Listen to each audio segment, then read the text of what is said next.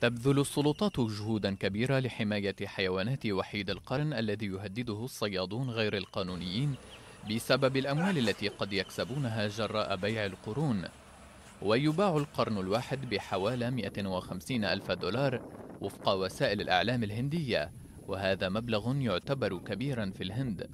وقررت السلطات الهندية هذه السنة إرسال تعزيزات عسكرية إذ قتل ثلاثة من هذه الحيوانات منذ بداية شهر كانون الثاني يناير وأنشأت سلطات الاستعمار البريطانية متنزه كازيرانجا الوطني في العام 1908 وفقا لإحصاء كانت الحديقة تضم 2413 وحيد قرن في العام 2018 وخلال موسم الأمطار يصبح العشب في الحديقة طويلا ليشكل بذلك غطاء مثاليا للصيادين.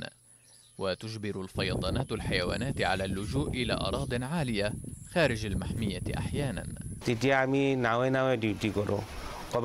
خلال الفيضانات نسير دوريات بحرية نحاول الوصول إلى الحيوانات التي تواجه خطرا بهدف إنقاذها ونقلها على متن القوارب.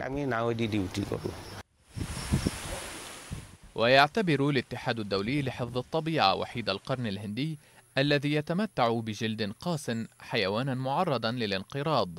ورغم منع صيد هذا الحيوان منذ العام 1910 ارتفعت عمليات الصيد الجائر بشكل كبير. وستنشر الهند عسكريين للمرة الأولى اعتبارا من منتصف تموز يوليو للمساعدة على حماية حيوانات وحيد القرن.